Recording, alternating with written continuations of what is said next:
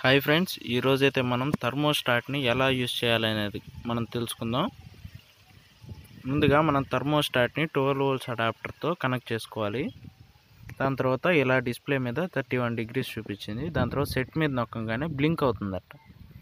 Blink అయినప్పుడు మనము cut off point అనేది సెట్ చేసుకోవాలి.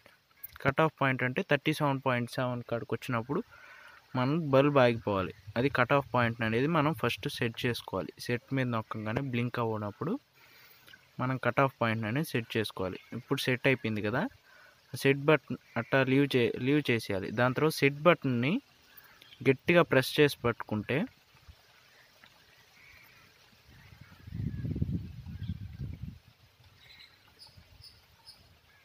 పీనాట్ అనేది ఓపెన్ అవుద్ది. పీనాట్ ఓపెన్ చేసిన తర్వాత మళ్ళీ సెట్ నొక్కితే హెచ్ఆ సిఆ సి అని ఉంటుంది. మళ్ళీ ప్లస్ నొక్కితే హెచ్కి మారిపోద్ది. దాని తర్వాత మళ్ళీ సెట్ నొక్కి పీ వన్లోకి వెళ్ళండి. మళ్ళీ టూ పాయింట్ జీరో ఉంటుంది. దీన్ని వన్ పాయింట్ జీరోకి మార్చుకోండి. అంటే వన్ డిగ్రీస్ డిఫరెన్స్ పెట్టుకుంటున్నాం మనం. దాని తర్వాత మళ్ళీ సెట్ నొక్కండి.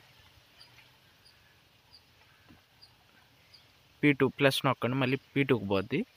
దాని తర్వాత ఇది మ్యాక్సిమం టెంపరేచర్ ఎంత ఉండాలి అనేది మనకు చెప్తుంది.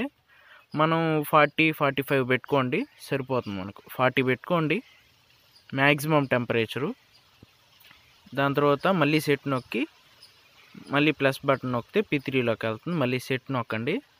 మైనస్ ఎంత ఉండాలో మైనస్ ఫిఫ్టీ అట్టే వదిలేయండి. దాని తర్వాత పీ ఫోర్లోకి వెళ్ళండి.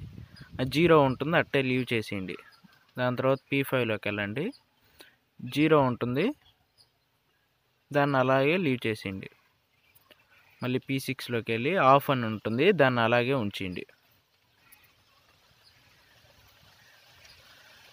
ఇప్పుడు ఒక రన్సేపు అలా లీవ్ చేస్తే